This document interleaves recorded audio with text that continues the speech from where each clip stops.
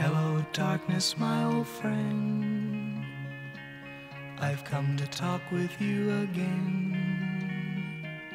Because a vision softly creeping 안녕하세요. 강수돌의 세상 사는 이야기의 안병주 강수돌입니다. 남해 FM 강수돌의 세상 사는 이야기는 고려대학교 명예교수인 강수돌 교수님과 함께 우리 사회 그리고 세상 사는 이야기를 나누는 방송입니다. 오늘 네 번째 시간인데요. 어, 지난 시간에 중독에 관한 얘기를 나눠봤는데요. 네, 오늘은 무엇이 우리의 행복을 가로막는가 이런 주제로 이야기를 나눠보려고 합니다. 네, 지난 시간하고 좀 이어지는 내용 같은데요. 오늘 네. 어떤 주제, 아, 오늘 이야기 주제에 대해서 간단히 좀 설명 좀 네. 부탁드립니다. 무엇이 우리의 행복을 가로막는가 핵심 키워드는 강자동일시다 이렇게 보았고요. 우리 책 제목이 강자동일시입니다. 아, 제가 간간히 뭐 경쟁에서도 이야기하고 교육에서도 이야기하는데 아, 최근에 뭐 변별력 문제 이런 것도 이야기가 되잖아요. 요즘 또 핫한 또 네. 이슈죠. 네. 제가 중학교 때 추억이 또 떠오르는데 네. 공부를 굉장히 열심히 했거든요. 제 나름. 근데 다음 날 시험을 쳤는데 너무 쉬워. 어, 공부를 또 열심히 하셨으니까. 열심히 했는데 쉽게 나오면 어떤 심정이 드는지 아십니까? 아 선생님한테 배신감을 느껴요. 다른 애들도 공부를 열심히. 내가 이렇게 열심히 했는데 열심히 한 보람을 느끼게 하려면 변별력 있는 문제가 나와야죠. 네, 바로 제가 남들이 못 푸는 그렇지. 나만 풀 수 있는. 나만 풀 수 있는 문제가 나와야 네. 차별화되잖아요. 네, 내가 네. 공부한 게 표가 나잖아요. 네. 저는 벌써 그것을 어, 한 50년 전에 느꼈던 거죠. 네. 그 이후로 어 제가 이제 여러 가지 뭐 계기들로 이제 네, 네. 반성을 하게 됐는데 아 이것은 정말 잘못된 생각이다. 예. 오늘 변별력 얘기를 이렇게 주된 얘기는 예, 아닌 것 아닌데 같고. 이제 네. 강자동일 씨 심리가 그 속에 들어 네. 있는 거죠. 내가 최강자가 되어야 된다. 맞습니다. 네. 오늘 요 교수님이 쓰신 책, 요 강자 음, 동일 씨라고 음, 하는 책을 이제 중심으로 얘기를 나눌 텐데요. 부제가 무엇이 우리의 행복을 가로막는가? 그렇죠. 요게 부제입니다. 네. 지난 방송에서 중독에 대한 네, 여러 가지 맞아요. 이야기를 좀 나눴는데 오늘도 네. 이어서 뭐 돈 중독, 일 중독 요거의 키워드를 가지고 좀 이 얘기를 네. 좀 풀어보려고 하는데요. 네. 일단 노래부터요. 듣고 오겠습니다. 네. 오늘 행복을 주제로 하기 때문에 윤환기의 나는 행복합니다를 듣고 시작하도록 네. 하겠습니다. 네.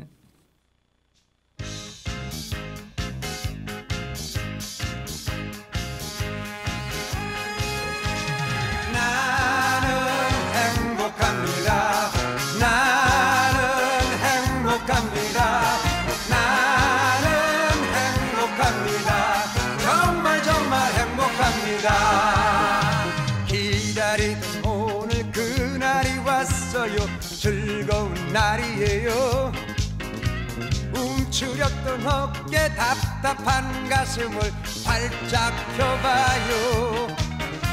가벼운 차림 다정한 옷들과 즐거운 마음으로 들과 산을 뛰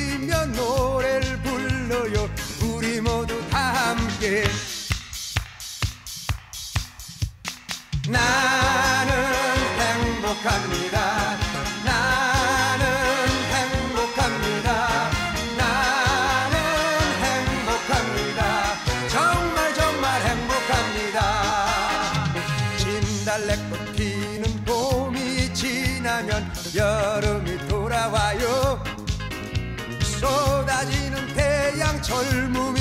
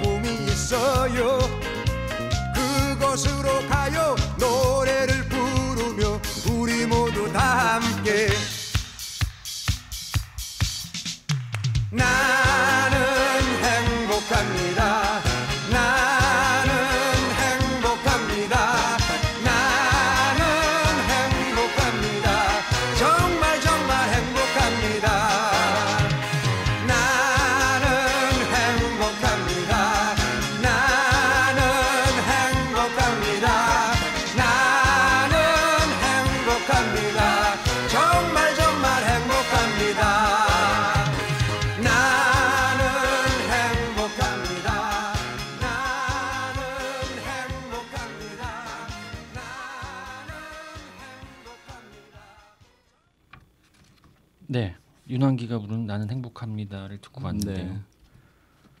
너무 행복을 자기 억지로 뭐 행복하다는 말을 네. 하는 것 같은 느낌도 들긴 합니다만 네. 어쨌든 요즘 교수님은 행복하세요? 개인적으로 행복하죠. 사회가 행복하지 않은 것 같아서 마음이 아플 따름이죠. 네. 네. 오늘 행복에 대한 얘기를 나누려고 하는데 음, 그 음. 일단 책 한 구절을 읽어보도록 할게요. 네. 이 책의 12페이지의 서두입니다. 네. 서문을 대신해서 음, 어, 써주신 글인데요. 음, 제가 잠깐 읽어볼게요. 어, 첫째도 돈, 둘째도 돈, 셋째도 돈. 음, 이 말은 재벌 회장의 구호가 아닙니다. 음, 어느 은행가의 슬로건도 아닙니다. 음. 바로 돌아가신 제 아버님의 말입니다. 음, 아니 말이라기보다 한이었습니다. 음, 돈, 돈, 돈. 노름을 좋아하던 할아버지와 일찍 돌아가신 할머니, 음, 변변찮은 가정에서 끼니도 걸러가며 일제하 강제노동과 미국 군정기, 6.25 한국전쟁과 보릿고개 시절을 남의 집 품팔이 및 소농으로 살다 가신 제 아버지의 고단, 고단했던 음. 일상 속에서 저절로 형성된 철학이었습니다. 네. 일종의 돈 트라우마. 네. 돈 트라우마죠. 실은 아버님뿐만이 음, 아니라 음. 지금 살고 있는 대부분 우리 사람들의 경험이죠. 입에 달고 사고 있는 게 돈이잖아요. 그럼요. 네. 이게 장, 지난번 방송에서 음. 그 중독의 음. 어, 가장 기본적인 배경이 되는 게 어떤 음. 트라우마 예. 이런 경험이 그럼요. 그 중독을 불러일으킨다라고 하는 어떤 음. 얘기들이 좀 오고 갔었는데 아 우리의 무엇이 우리의 행복을 가로막는가에서 가장 첫 번째에 음. 나온 단어가 돈이었습니다. 맞아요. 예. 그 그거는 이제 아 이 자본주의 상품 사회로 상품으로 우리의 삶을 해결해 내는 정도가 강해지고 넓어질수록 돈이 아니면 어, 집도 없고 먹을 것도 없고 등등 그렇게 되죠. 근데 필름을 좀 땡겨서 더 이전으로 돌아가 보면 화폐와 상품이 아니어도 사람과 자연이 그러니까 이 둘의 품앗이 속에서 돈 많이 들지도 않고 서로 협동해서 살아간 당시를 생각해 보면 어, 공동체가 살아 있고 자연이 살아 있으면 돈과 상품에 의존하는 정도가 더 약하죠. 음. 근데 이제 근대 우리, 이, 우리 아버지도 1919년생이거든요. 100년 전에 사람이에요. 태어난 거죠. 그, 그 이후로만 보더라도 이 한국 근대사를 알 수가 있는데 그게 이제 일제 침략 이후의 에, 식민지 자본주의 발전이잖아요. 그러니까 결국은 어, 말이 식민지 자본주의지 일본이 사실상 어, 헐값으로 임금을 치주고 또는 재료값을 치주고 사실상 뺏어갔던 쌀이나 면화나 뭐 각종 어, 수산물이나 등등을 농산물 같은 거를 값싸게 가져가 상품 화폐 관계를 빙자했지만 그 가치를 제대로 쳐주지 않고 가져갔기 때문에 사실상 수탈이다. 예. 아, 또 직접적으로 노동자를 쓴 경우는 착취다 이렇게 보는 거잖아요. 그러니까 알고 봤더니 우리 아버지가 돈 트라우마 한이 맺혔던 것 그거의 배경에는 자본주의 발전 과정이 깃들어 있었고 그 속에서 어, 강자 그룹에 들어가지 못하고 그야말로 최약자 그룹 속에서 끊임없이 에, 차별받고 고통당하고 했던 그런 것이 제 눈에 제 귀에 첫째도 돈, 둘째도 돈, 셋째도 돈으로 나타났던 것이죠. 그렇죠. 근데 뭐 저희 부모님 세대도 네, 비슷한 세대 비슷한 입장들이죠. 이고 지금도 돈 맞아요. 어, 예전보다 하시- 강해지면. 강해졌죠. 네. 어. 근데 뭐 연세 드신 분만 뿐만이 아니고 음, 저희 같이 뭐 4, 50대 중 맞아요. 지금 중년 세대들도 실은 어떤 직장이나 그러니까 돈이 없으면 사회에 생존하기가 갈수록 더 그래요. 어렵다는 네. 것이 기본적인 전제가 돼 있는 것 네, 같고 네. 뭐 권력도 마찬가지고 어떤 사회적 네. 지위도 마찬가지고 이 맞아요. 사회에서 소외되거나 어떤 집단에서 살아남으려면 음, 기본적으로 돈이 음. 있어야 음. 어, 뭐 된다는 기본적인 가, 그런 전제가 사실은 삶에 그냥 기본적인 어떤 적으로 깔려서 맞아요. 가는 게 맞잖아요. 마, 지금. 자본주의 사회에서는 그러니까. 네. 그 이제 그거를 우리가 가만히 그 어떤 흐름 속에서 일정한 그 법칙 내지는 그 원리를 깨우쳐야 솔루션이 나올 수 있잖아요. 네. 자 서울 생활과 어, 남해에서 사는 사람들 한 달에 생활비가 어떻게 될까요? 어디가 많이 들겠습니까? 상대적으로 도시나 서울에 살고 있는 예, 도시 많- 중에서도 네네. 서울이 더 많이 들 것 같죠. 네. 왜 그런가? 왜 그런가? 어 거기는 소비를 안 하면 그렇죠. 돈을 쓰지 않으면 예를 들면 할 수 없는 건. 자연으로부터 어, 거저 얻거나 네. 어, 또는 에, 마을 공동체, 가족, 이웃, 친구로부터 거저 얻는 형태로 선물이나 도움의 형태로 네, 네. 얻는 비중이 도시화가 될수록 더 적겠죠. 네.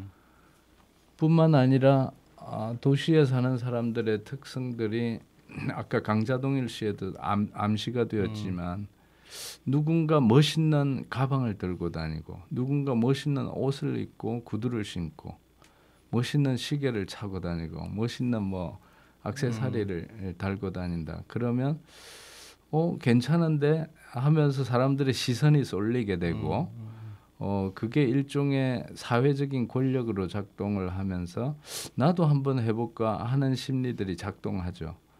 그래서 너도 나도 이제 그걸 에, 함께 살려고 몰려들고 심지어는 젊은이들 사이에서도 명품 중독 내지는 그 오픈런이라고 하더라고요. 백화점 네, 같은데 네, 네, 네. 문 열자마자 런 달려가서 살려고 하는 어, 그런 현상들까지 나오고 제 아들은 카푸어를 그 예, 자기도 하겠다. 돈은 못 벌어도 차는 좋은 거를 예, 사야 되지 않냐. 그러니까 그죠? 예.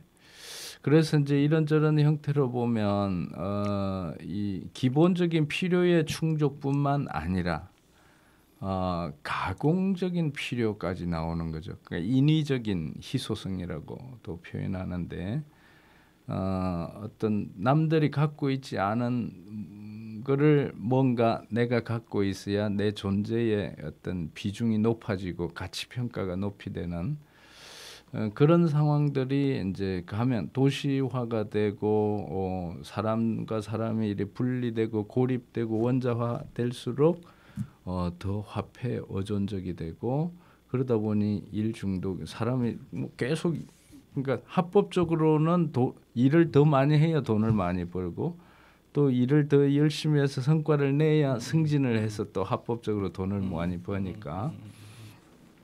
물론 어느 순간에 가면 그 합법적인 지위를 활용해서 불법적으로 돈을 벌기도 하지만 그 그거는 일단 그 선외로 놔두고 합법적인 범위 안에 생각해 보면 그런 메커니즘 구조가 작동하잖아요.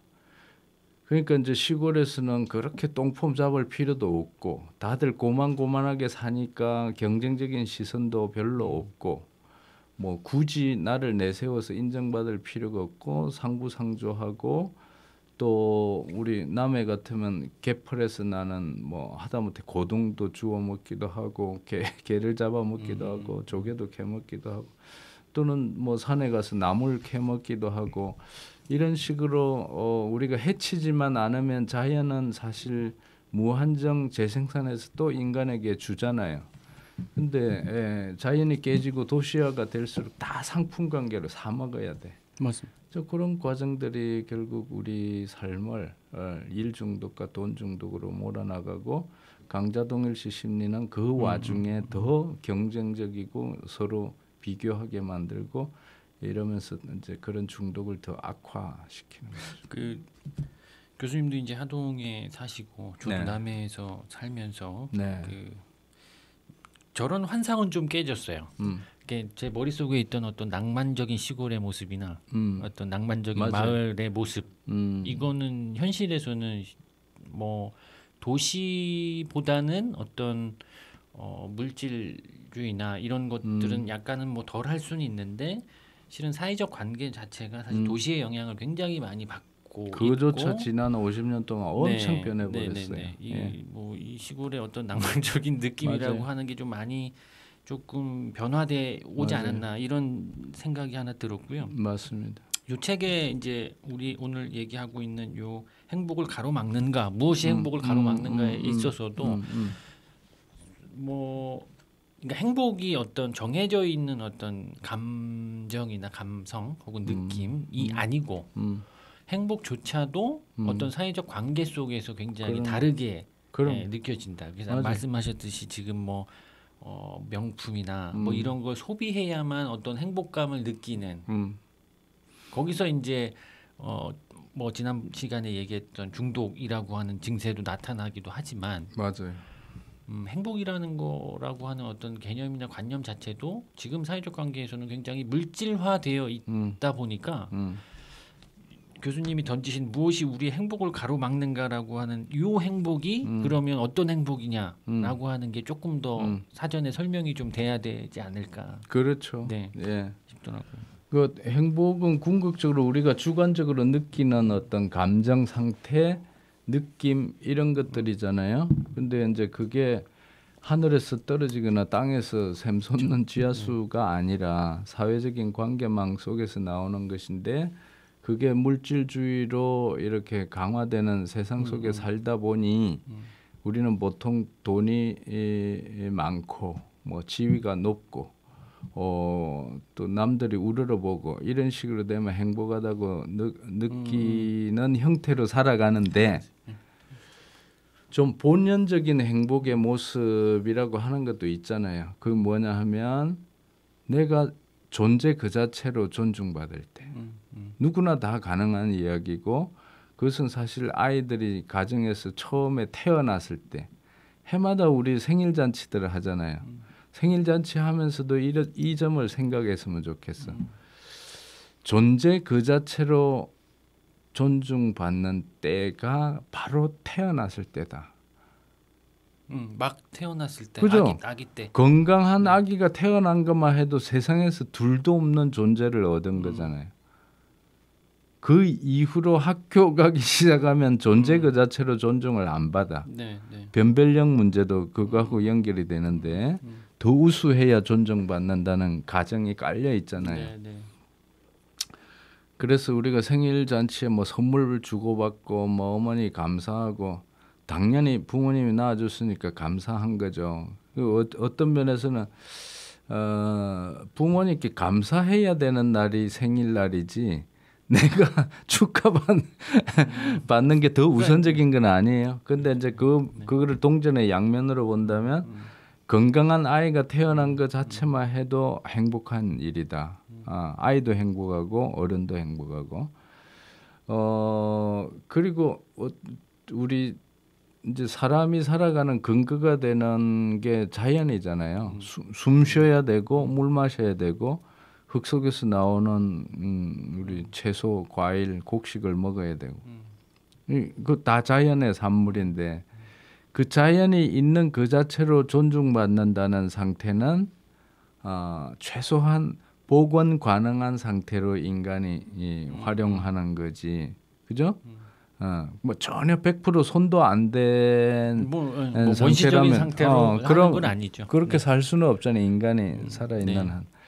이제 그런 관점에서 어, 가장 그 덜 침해되고 있는 그 자체로 존중받으면서 조심스럽게 이렇게 살아가는 사람과 사람, 사람과 자연의 관계가 그렇게 형성이 된다면 그러면 둘도 없이 행복한 상태인 거죠. 그러니까 네. 이거를 일종의 에, 규범적인 차원으로서의 행복이라고 할 수 있는데 칸트도 이야기했지만 어, 도달 가능하고 실현 가능한 지점으로서의 규범이 아니라 일종의 규제적인 의미의 규범.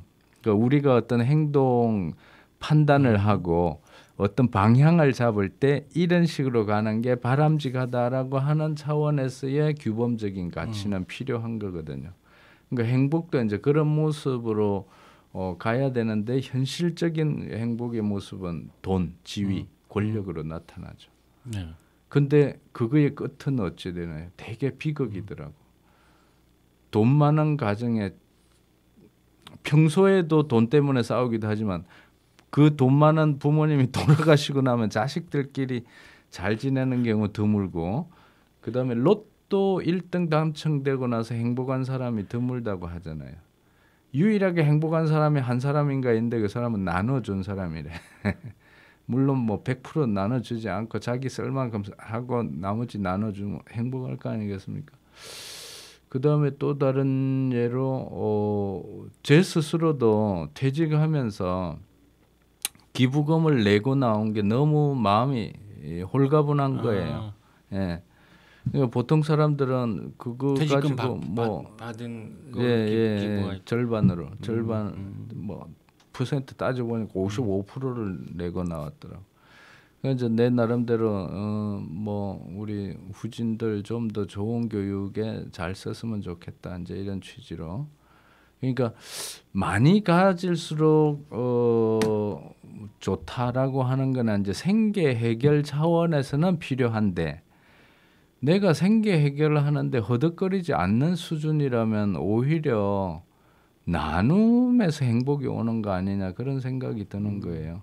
그리고 꼭 저런 뉴스도 있잖아요. 저는 이제 조금 우리 예를 들면 어, 폐지 줍는 할머니가 네, 도시에 예, 네. 평생 안 쓰고 모았다가 어, 뭐 한꺼번에 몇 억을 네, 어, 뭐 무슨 어디 기부. 교육기관에 맞아요. 기부했다. 그 아름다운 모습. 물론 이제 저는 100% 아름답게 느끼지는 않아요. 그 하, 할머니가 자기의 인간적인 욕구를 억제하면서 그렇게 했다면 그것도 저는 그렇게 음. 박수 칠 일은 아니다. 그러니까 평소에 자기 욕구를 충족시키고 경우에 따라서 친구들한테 밥도 한 그릇씩 사주고 꼭 그액이 아니라도 그죠? 음, 또좀 어려운 사람이 있으면 하다못해 뭐 어, 작은 책이나 공책이라도 한 권 사주고 평소에 그렇게 에, 나눔이 꾸준히 네, 예, 네. 나, 나누 나누고 혹시 그래도 남는 게 있다면 기타겠다 그러면 참 더 아름다워 보이는데 먹을 거 안 먹고 입을 거 안 입어가면서 저축했다가 나중에 기타겠다. 근데 기타 한 곳이나 그 용도나 그런 것도 또 문제 삼을 수는 있지만 제가 이 말씀드리는 그 어르신의 아름다운 마음을 폄훼해서가 아니라 평소에 우리의 인간적인 욕구를 잘 충족시키고 음. 그러면서도 그 와중에 에, 소소한 나눔을 하면서 사는 게 훨씬 더 인간적이지 않는가 그런 이야기를 하고 싶은 거예요. 책에도 나오는데요. 교수님이 그런 말씀을 하시면 음, 주변에서 음. 제발 좀 우리도 돈 많아가지고 싸워봤으면 좋겠다 이런 그러죠. 반응이 나오죠. 네, 네, 나도 그 정도까지 해봤으면 좋겠다 이런 네. 욕망이 네. 있고 그게 꼭 욕, 욕망이라는 단어가 좀 적절할지는 모르겠는데 근데 그거를 어떤 뭐 제가 뭐 수십억을 갖고 있어서 그렇게 살아가는 거 아니거든요. 어 어떤 면에서는 초등학교 시절을 되돌아보면 어 저도 힘들게 살아왔어요 사실은. 근데 내 옆에 짝지가 내보다 더 힘들 것 같을 때 연필 한 자로 나누어 가면서 경우에 따라서 그 지우개를 반으로 쪼개 가지고 나누어 가면서 살았던 그런 기억이 있거든요. 저는 샤프심을 주로 나눴어요. 맞아 그런 그런 그런 식으로 어, 네. 물론 뭐 연필 따먹기 게임도 하고 이렇긴 했지만 어 저는 그런 마음들이 우리가 인간 사회를 조금 더 어, 아름답게 만들어가는 어떤 미시적인 기초라고 생각을 해요. 꼭 많아서 뭐 많으면 나누기 당연히 쉽죠. 네, 네, 네. 근데 당신만큼 많으면 나도 할게 하는 사람치고 막상 많이 가져 있을 때 그렇게 잘 할까? 그리고 이 일종의 dynamic process로 보면요. 힘들게 돈을 벌수록 나중에 잘 못 나눌 수도 있어요. 내가 그 100원, 200원 모을 적에 너무나 힘들었기 때문에 나눠줘. 그, 어, 그 뭐, 그러니까 이제 그 저는 습관이라는 거예요. 태도, 평소의 태도. 그러니까 작든 크든 함께 사는 게 좋은 삶이야라고 하는 아까 규제적인 이념, 아, 그런 가치관 그런 게 이제 우리의 등대처럼 이렇게 늘 잠재해 있다면 그 마음을 잃지 않는다면 훨씬 좋은 사회가 되고 이제 화폐의 돈이나 상품 관계에 계속 중독되어 가면서 오로지 그것만 싹그 초점을 음, 두고 음. 추구하다 보면 그런 인간적인 가치관을 잃어버리는 거예요. 맞아. 저희도 그게 중요한 거예요. 그 이게 정말 내면화되어 있다는 게 예를 들어서 이제 핸드폰 이제 음. 네. 뭐이 뭐 핸드폰이 새로운 기종이 나오면 맞아. 얘네들이 또 2년이나 3년마다 또 성능이 그래. 저하. 저하돼서 예. 아 바꿀 때가 됐구나 계속 예, 예, 맞아요. 이렇게 이렇게 이렇게 되는 거예요. 맞아요. 이게 뭐 쓸려면은 계속 쓸 수도 있는데 음. 이아이 새로운 어떤 소비에 대한 욕망을 음. 계속 거의 잠자는 시간 빼고는 거의 맞아요. 주변이 상품 광고로 도배돼 있고 맞습니다.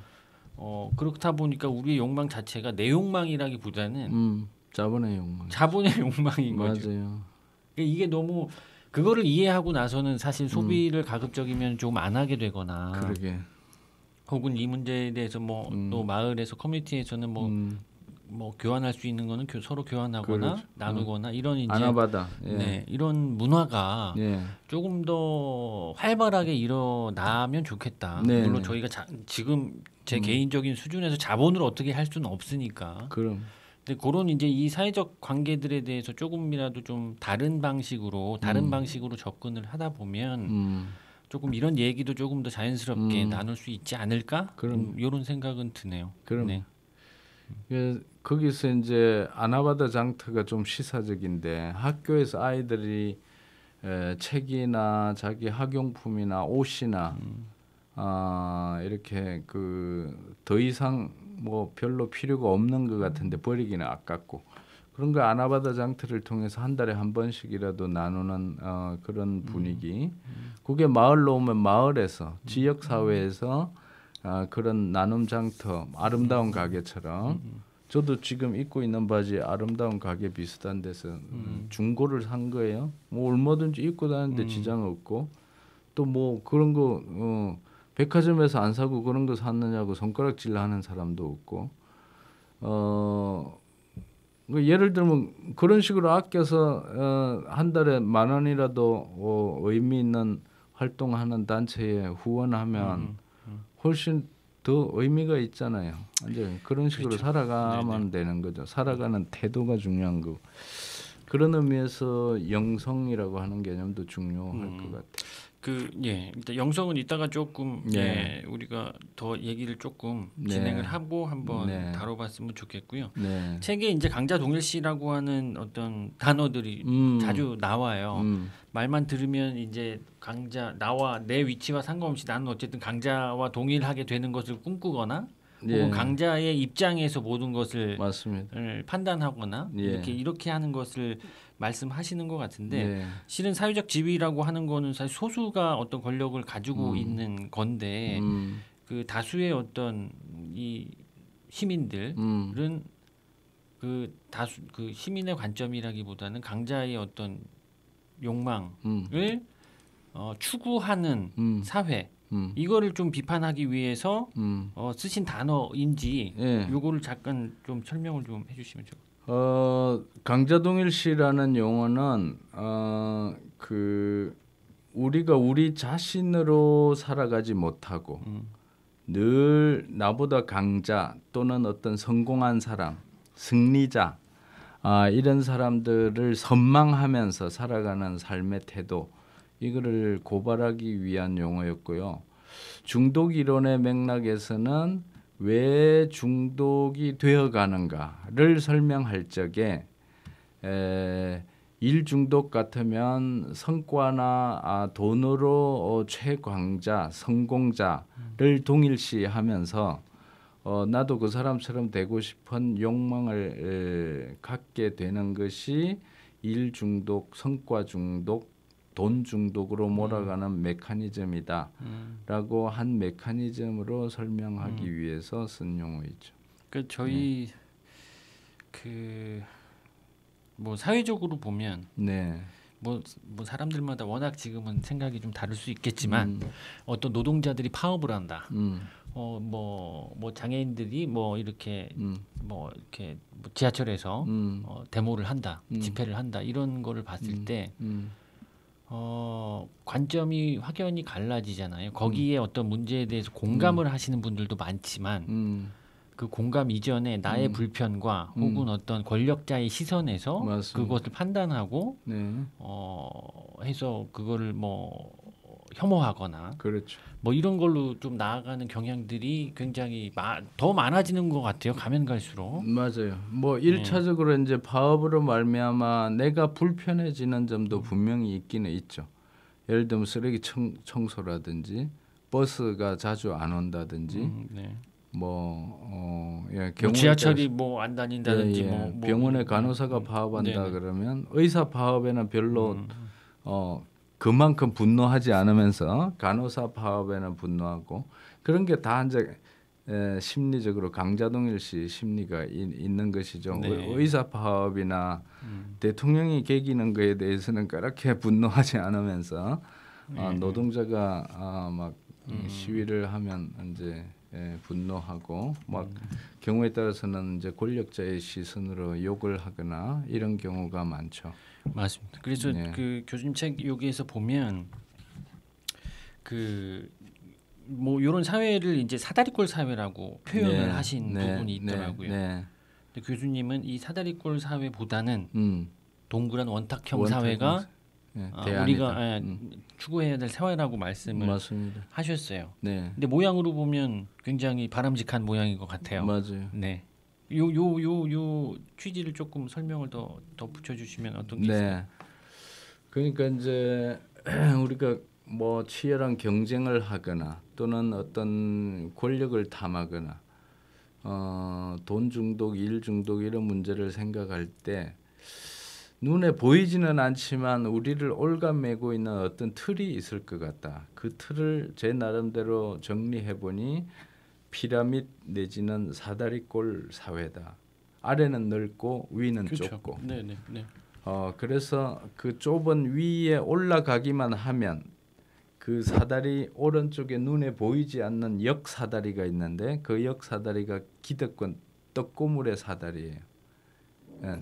그러니까 아, 좁 좁게 예, 음, 좁은 네, 사람 네, A급, B급에 있는 사람은 오른쪽에 굉장히 큰 떡고물을 가져가고 아래쪽에 넓은 곳에 위치한 사람들은 아주 수박 쪼가리 같이 작은 음, 쪼가리를 음, 서로 많이 가져가려고 아기다툼을 음, 벌이는 그런 사회가 우리 학교나 일터나 일반 사회나 정치계나 모든 분야에 다 있다. 하다못해 시장에 가더라도 중소 영세 상인은 아래쪽 바닥에 있지만 어, 위쪽에 재벌급 기업들은 작은 branch를 지방 곳곳에 뭐 여기도 음. 각종 편의점으로 상징되고 네, 슈퍼로 네. 상징되고 등등 대형 마트로 상징되는 이런 것들이 음. 이제 장악해가지고 어, 숫자로는 소수지만 어, 실질적으로 가져가는 떡고물을 많이 가져가잖아요. 음. 그런 꼴을 상징적으로 이제 제가 어, 사다리꼴 사회라고 표현을 했고 그게 지금 모양으로는 사다리꼴 사회라고 네. 표시했고 네. 또 상징적으로는 팔꿈치 사회 그렇죠. 네, 이렇게 표현을 해주신 예, 게 있더라고요. 이제 치열하게 에, 네. 옆 사람을 팔꿈치로 쳐야지만 아, 내가 살아남을 수 있고 앞서 네. 나갈 수 있는 네. 사회다. 그러니까 그게 네. 저희 아이들이나 뭐 청소년들한테 이해시키는 게 이게 사실은 굉장히 어려운데 네. 제, 제 경험으로는 음, 그러니까 당장에 내가 지- 정말 물리적으로 음. 이렇게 막 경 막 이렇게 너 죽어라 하고 이렇게 음. 가는 건 아니잖아요. 나는 음. 쟤랑 평화롭게 살고 싶고 같이 갈 거야 하는데 그럼 예를 들어서 뭐 지금은 청소년 뭐 한 스무 살만 넘어가면 음, 대부분 주식, 음, 코인 음, 이런 걸 하거든요. 맞아요.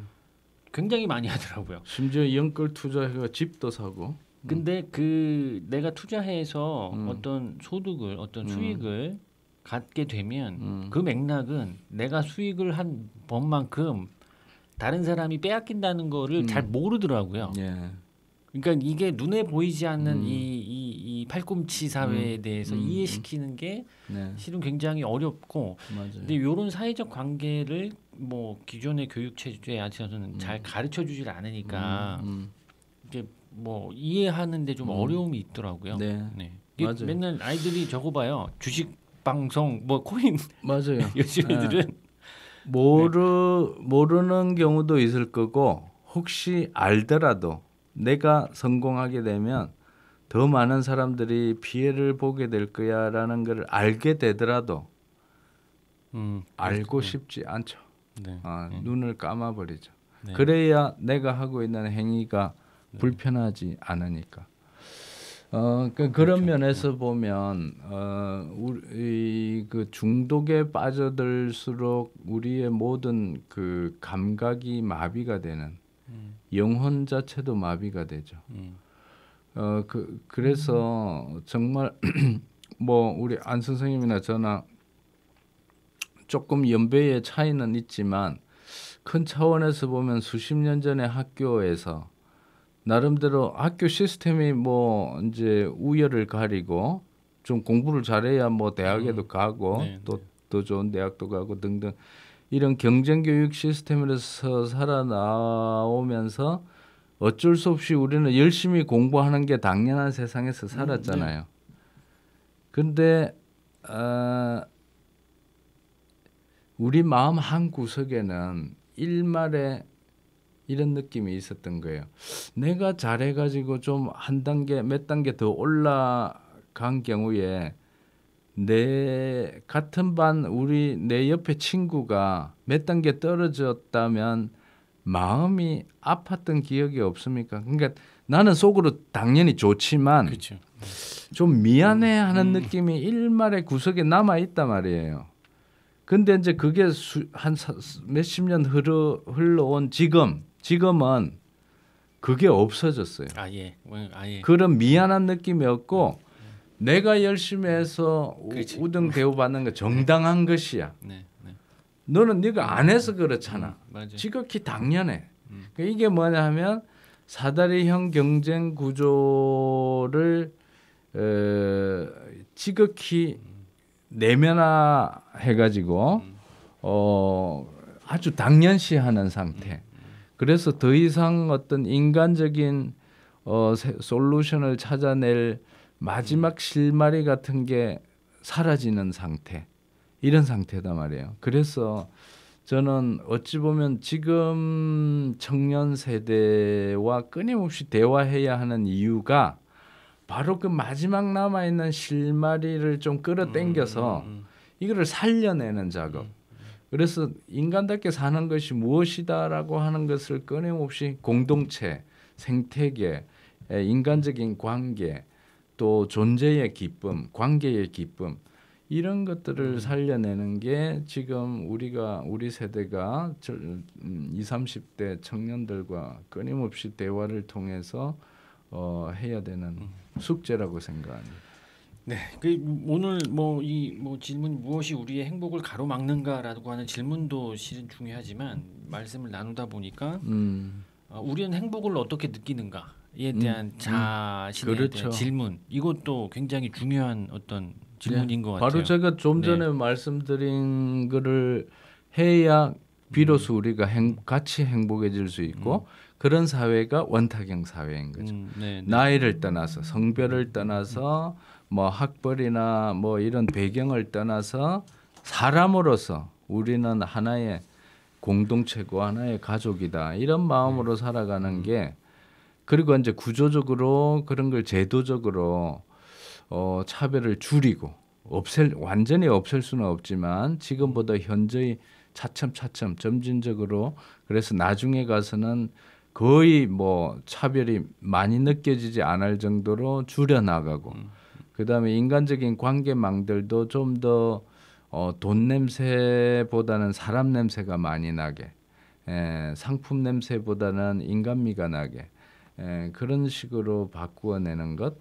그리고 자연과의 관계도 우리가 인간이 만물의 영장이니까 마음대로 집에 착취 개발해도 돼가 아니라 우리 모두를 살려주고 있는 물과 흙과 아, 공기 우리 지금 어, 일본 방사능 그 어, 폐수. 때문에 핵 폐수 때문에 걱정이 많습니다만 바닷물뿐만 아니라 사실 강물 음, 어, 또 일본의 방사능 폐수뿐만 아니라 그 이전에 우리 농약 얼마나 많이 칩니까? 비 오고 나면 그 농약이 다 씻겨 가지고 바다에 또 다 들어가요.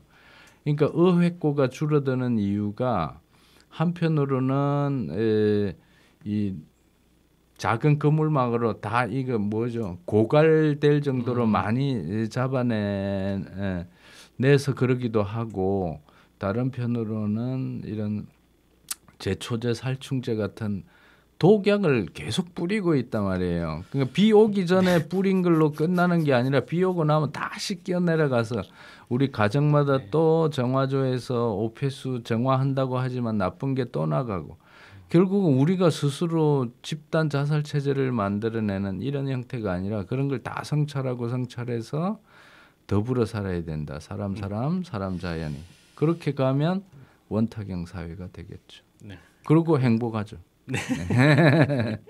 아, 걱정이 많으셔가지고 별로 행복해 보이지 않는데 지금. 아, 그러게요. 저 네. 혼자 살 수가 없으니까. 그러니까 그게 그 관계망에 대한 인식. 그러니까 사람이 살아가는 게 나 홀로만 살아가는 게 아니라 아, 주변에 함께 사는 사람들, 우리 사회의 음, 이웃들 을 이름은 잘 모르지만 하여간 길거리에서 만나는 모든 사람들이 얼굴이 즐겁고 밝을 때 내 기분도 좋아지잖아요. 네, 네. 그 연결 속에 나의 존재를 생각하는 게 그게 영성인 거예요. 음. 어. 알겠습니다. 그 그러면 예 잠깐만 노래 네. 하나 듣고 아, 예. 듣는 들으시는 분들이 좀 요즘 힘들어하신다는. 그래서. 중간에 죄송합니다. 제가. 너무 말을 한번 시작하면 길게 말. 오늘 선곡은 다 행복에 관한 네, 노래입니다. 네. 마크 튜브이라는 저도 처음 들어보는 네. 제목이 좋아서 네. 마음이 말하는 행복이라는 노래 음, 잠깐 듣고 음. 오겠습니다.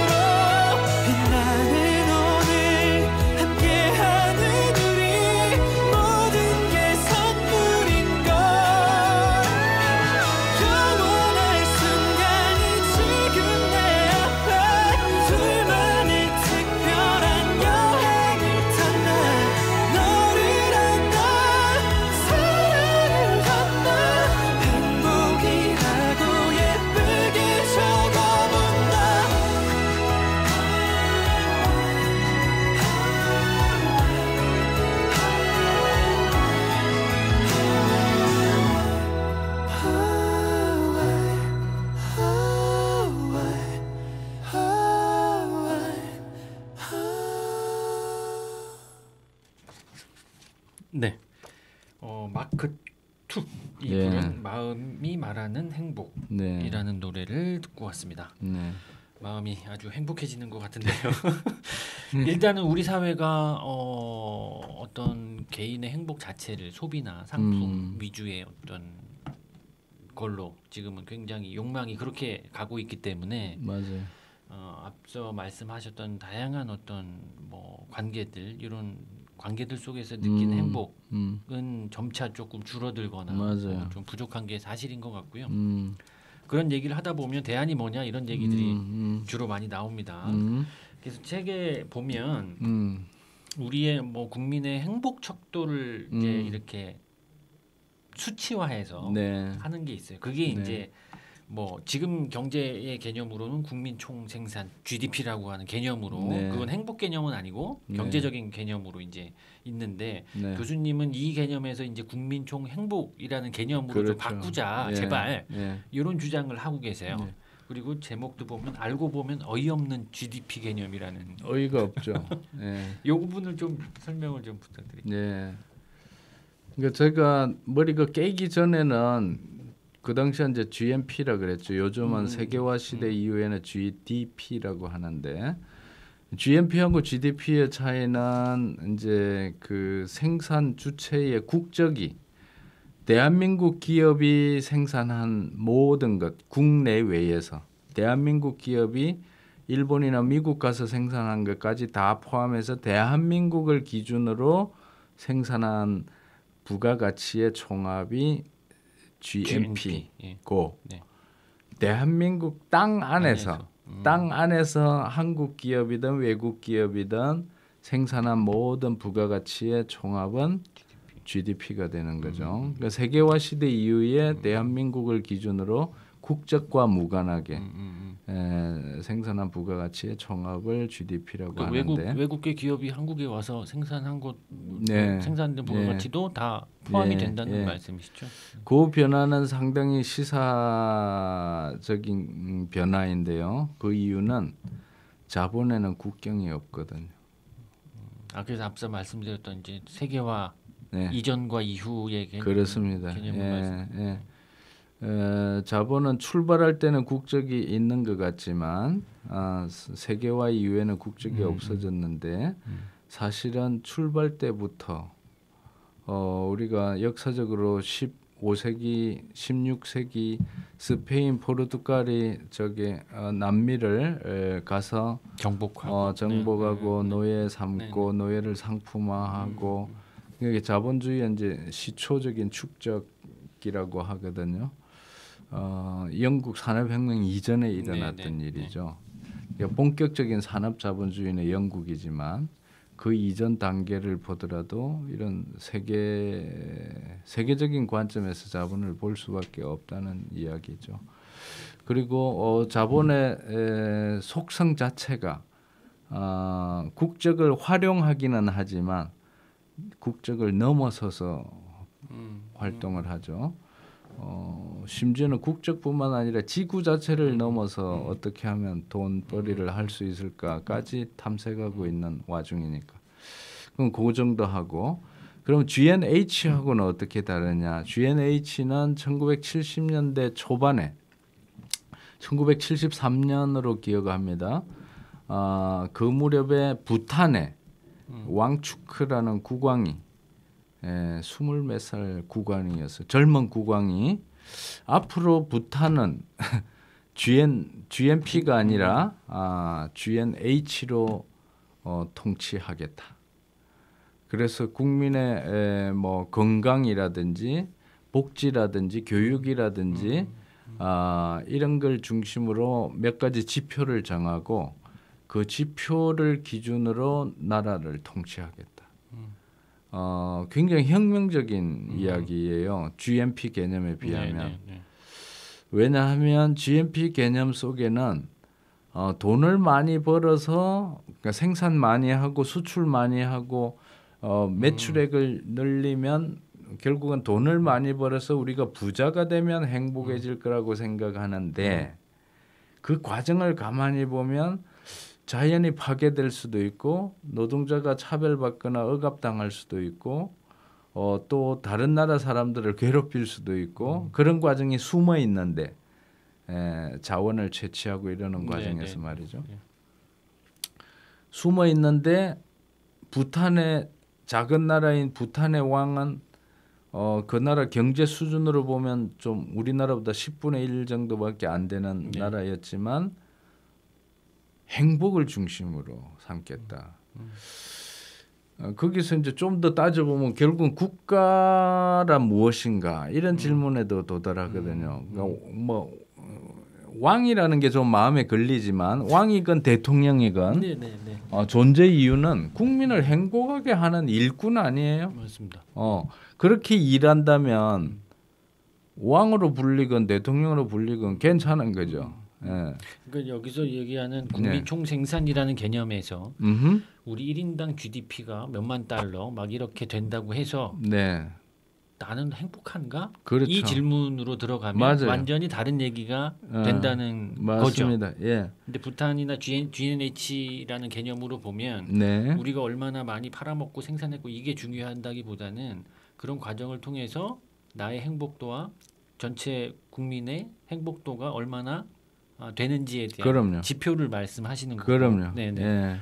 바로 이제 그런 점에서 어, 나라를 좀 혁명적으로 음. 다르게 통치하겠다 이런 점에서 상당히 시사적이다. 음. 그렇다고 제가 그 왕 제도로 돌아가자 이런 주장은 음. 아니고요. 네, 왕보다 네. 당연히 대통령이 낫고 음. 대통령보다는 저는 마을 이장 중심의 마을 공화국이 더 낫다고 생각하는 사람이지만 예.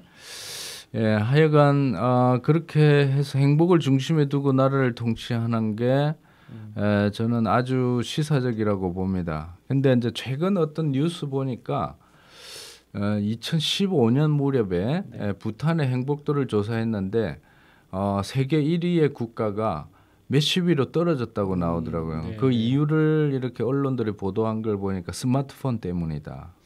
근데 물론 그것 때문만은 아닌 것 같고 그 나라가 이제 행복하다 이렇게 알려지니까 관광객들이 많이 몰려가고 우리가 동남아에 관광을 가보신 적 있잖아요. 네네. 네. 저도 가본 적이 있지만 갈 때마다 미안한 느낌이 들어. 음.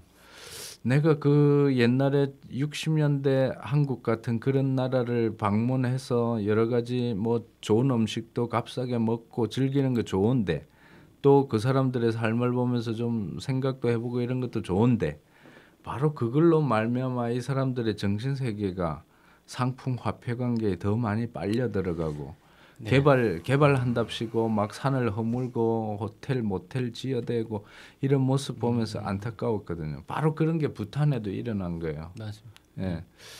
그 그런 관계들 이후로 어, 행복도가 떨어지다는 소식을 듣고 상당히 어, 저도 좀 음, 당황한 적이 있죠. 네. 네. 그래서 우리 개념은 뭐 경제적 개뭐이뭐 숫자 네. 뭐 이를테면 얼마를 벌었니 혹은 음. 얼마를 갖고 있니 음. 뭐 이런 개념보다는 음, 우리가 진심 사회적 관계 속에서 우리가 얼마나 행복하냐 이걸로 맞아요. 조금 변할 필요가 있다 이제 맞아요. 이런 말씀이시고요. 제가.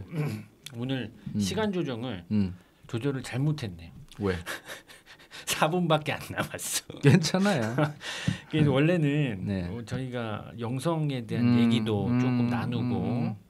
어뭐 이런 것들을 좀 얘기하려고 뭐 간단하게 했는데, 음, 말씀드리면 되지 않나요? 3분 남았습니다. 3분은 괜찮아요. 노래 들으면 끝이에요. 아 그런 거예요? 네. 네.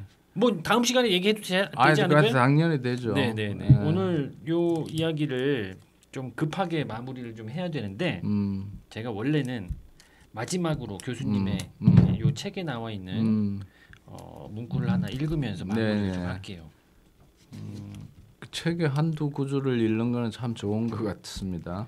마지막으로 저의 바람을 정리해 봅니다라고 음. 네, 교수님이 직접 쓰셨어요. 네, 무한한 성장만이 답은 아니다. 음, 더 이상 좀비로 살순 없다. 음, 하루를 살더라도 인간답게 의미 있게 살아보자. 음, 교환 가치보다 존재 가치를 음, 상품 가치보다 생명 가치를 추구하자. 음, 남이 부러워하는 나가 아니라 내가 사랑하는 나, 음. 나다운 나로 살자. 음, 이웃과 자연을 지배하는 음, 잘난 강자가 아니라 음, 이웃과 자연과 더불어 웃는 음. 행복한 나로 살자. 음, 남보다 잘난 인간, 강한 나가 아니라 남과 더불어 함께 잘 사는 인간, 선한 네. 나로 살자. 음, 새로운 사회를 위해 행복한 삶의 연대가 필요하다. 음. 이게 교수님의 바람이 그렇죠. 네. 예, 그 같이 잘 살자는 이야기죠. 예, 요 강수돌의 세상 사는 이야기는 사실 요런 이야기들을 음. 하나하나 좀 짚어보면서 예, 어, 청취자분들의 어떤 생각이나 의견도 좀 듣고 싶으니까 네. 궁금하신 거 있으면 뭐 네. 댓글이나 네, 뭐절 아시는 분은 직접 네, 강수돌 교수님을 아시, 아시는 분 직접 연락을 네. 주시면 고맙겠습니다. 네. 오늘도 한 시간이 너무 너무 금방 갔어요. 네, 어떡하죠? 예.